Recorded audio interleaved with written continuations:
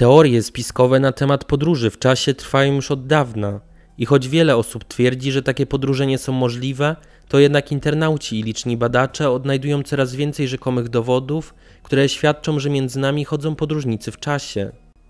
Takim dowodem ma być choćby opowieść, która przedstawia prawie identyczną historię dotyczącą statku Titanic, który zatonął w kwietniu 1912 roku.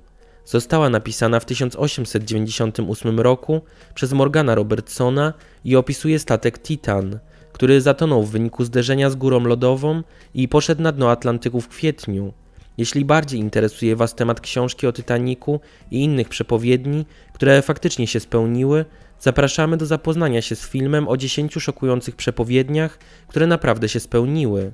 Warto też wspomnieć o innych opowieściach z 1896 roku, które przedstawiają losy barona Trumpa i wyboru kontrowersyjnego prezydenta USA.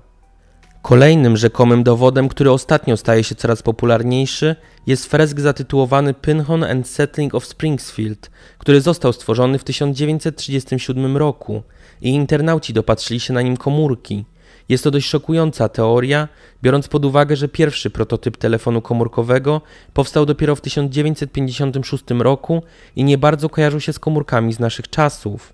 Komórka z 1956 roku ważyła bowiem 40 kg, a kształtem przypominała bardziej walizkę, więc właściwie niemożliwe byłoby w 1937 roku ktoś mógł mieć jakiekolwiek pojęcie o komórkach.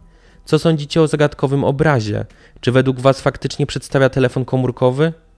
Zachęcamy do dawania łapek w górę i subskrybowania kanału.